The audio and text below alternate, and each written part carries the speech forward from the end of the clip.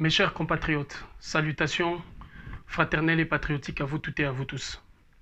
Le secrétaire général de l'Organisation des Nations Unies, Antonio Guterres, vient de démontrer aujourd'hui devant la face du monde que l'Organisation des Nations Unies est une chambre d'enregistrement notamment de cinq membres permanents, principale puissance de cette organisation, et en particulier de la France et des États-Unis d'Amérique. Parce que le président français a parlé et l'ONU a encaissé, et l'OMS va appliquer des grés ou de force. Mes chers frères et sœurs, ici en France aujourd'hui, la France qui est un pays d'égalité, comme le dit sa devise, on remarque que il y a aujourd'hui le choix entre les riches et les pauvres, entre les personnes âgées et les moins âgées, entre ceux qui vivent dans les quartiers UP et dans les quartiers défavorisés, entre ceux de la métropole et ceux d'outre-mer. On fait aujourd'hui un choix qui soigner, qui mettre sur les lits d'hôpital, qui, à qui donner les euh, respirateurs, à qui faire ceci.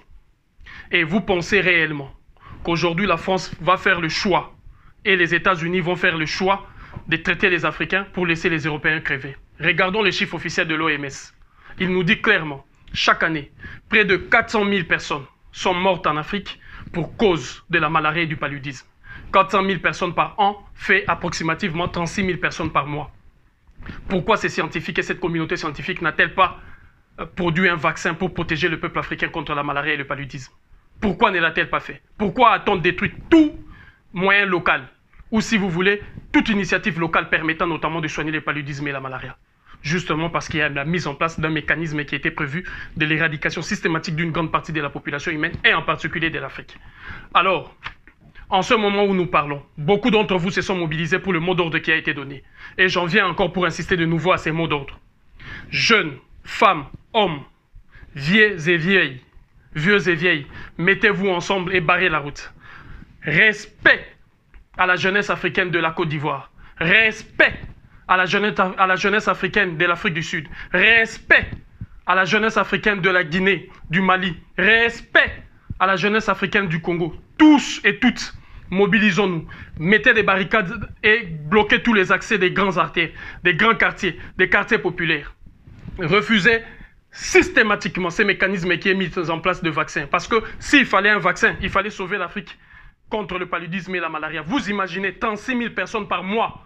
Et aujourd'hui, parce qu'il y a eu 10 000 aux États-Unis, admettons, parce qu'il y a eu 10 000 en France, parce qu'il y a eu 10 000 en Chine, parce qu'il y a eu 10 000 euh, en Italie, le monde est bloqué. Tout est par terre et tout s'est arrêté. Ça, c'est un grand mensonge. Et le secrétaire général de l'Organisation des Nations Unies, ainsi que la France, viennent de le démontrer. Louvounou, l'Okuta Monene est mensonge.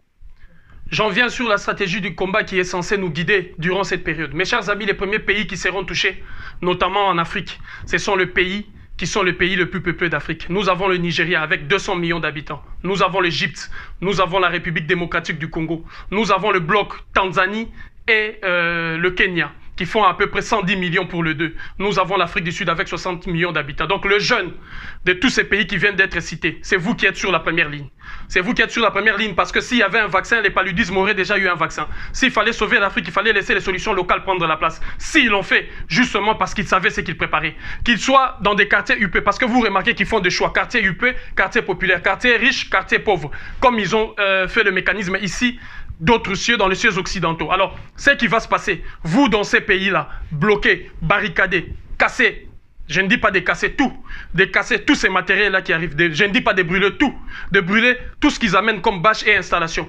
Vous avez le soutien total, vous la jeunesse africaine de la Côte d'Ivoire, pour cet acte ô combien courageux que vous venez de poser. Toute l'Afrique est derrière vous. Et nous soutenons aujourd'hui, demain et jusqu'à la fin.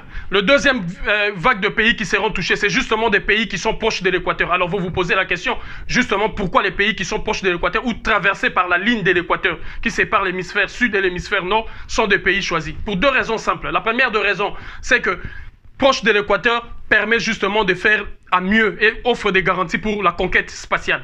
La conquête spatiale, notamment d'abord de notre espace territorial, et de deux, c'est pour permettre à ces nations, sur le plan stratégique, de lancer leurs fusées et leurs missiles. Je précise, leurs fusées et leurs missiles. Il y a des missiles biologiques, bactériologiques, de missiles, euh, tout ce que vous voulez, toute forme de missiles. Alors, ils veulent des pays qui sont traversés par la ligne de l'équateur. Il y a 13 pays sur la planète, aujourd'hui traversés par la ligne de l'équateur. Je commence en Amérique, l'équateur. Vous remarquez aujourd'hui en Équateur, il y a l'hécatombe totale. Nous avons les yeux fermés parce que les médias occidentaux, les médias du monde n'en parlaient pas. En Équateur, les gens meurent chaque seconde. Et c'est dramatique.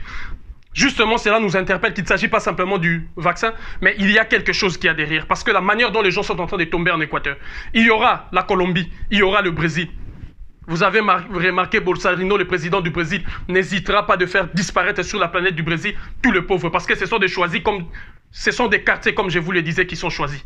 Donc, ça viendra le Brésil. En Asie, nous avons les îles Maldives, nous avons euh, l'Indonésie, qui seront notamment touchés. En Afrique, Kiribati, regardez que tout un chacun de nous et toute une chacune d'entre nous travaille. Vous verrez c'est quoi Kiribati, quelle est la position géostratégique en Océanie pour Kiribati. En plus, en Afrique, nous avons ces pays-là qui reviennent encore. Sao Tomé Principe.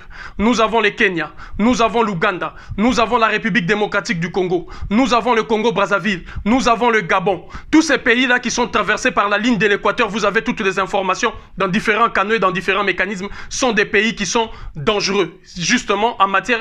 Euh, qui offrent, si vous voulez, toutes les possibilités et tous les mécanismes stratégiques pour qu'ils soient attaqués parce que ces pays sont proches de l'équateur, donc leur permettant notamment de lancer leurs fusées et missiles pour la conquête spatiale, mais aussi de diminuer drastiquement la densité de la population de ces pays parce qu'il faut moins de monde pour faire cela. Et au final, au final, ça sera justement le 3 deuxième groupe de pays, ce sont des pays qui ont des grands accès maritimes, c'est-à-dire des grands ports.